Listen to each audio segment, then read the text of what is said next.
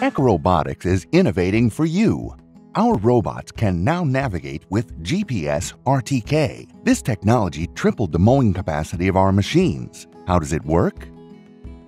Real-time kinematic is a technique used to increase the accuracy of GPS signals by using a fixed base station, which wirelessly sends out corrections to a moving receiver installed in our robot.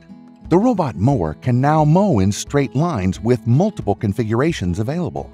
The robotic mowers can cover an area equivalent to three football pitches in one day. Depending on the nature of the field, the lighting conditions, and the model chosen, the cutting speed and accuracy from 3 to 5 centimeters of the new models are now comparable with those of traditional ride-on mowers. When the robot needs to charge, it will automatically remember where it stops and go to its charging station. And when the robot is ready, it leaves its charging station and goes back precisely where it stopped before charging to resume its pattern mowing.